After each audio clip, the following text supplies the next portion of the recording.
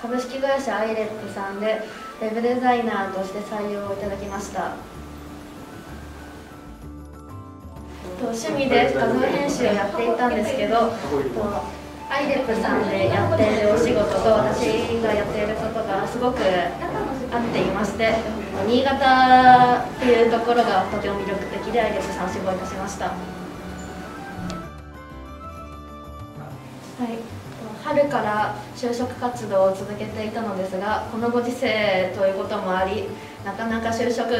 活動が進まなかったのですがアイレップ様に選んでいただいてもうなんとかなんとかもうもうどうにかなりました。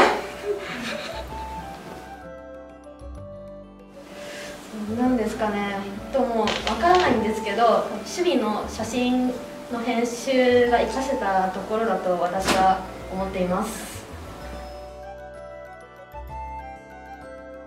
そうですね。やっぱり目線を外さずにまっすぐ見ながら面接をすることを心がけたのとそう面接は愛の告白だと思いながらやりました。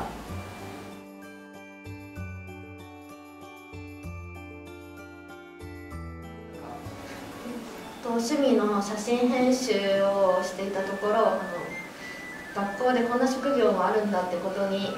気づい教えていただいてその興味を持ち始めましたね。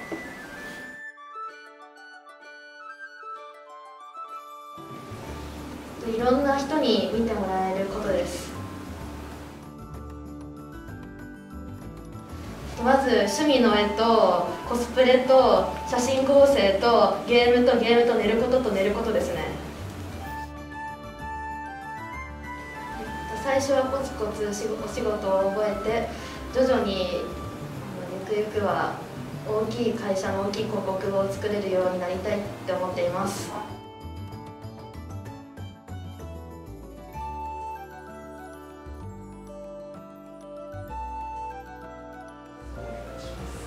い。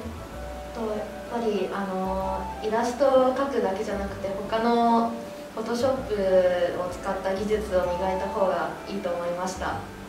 とはあの平面だけじゃなくて動画とかと写真の切り抜きとかと色調補正とかもたくさん勉強した方が役に立つと思いました。頑張ってください。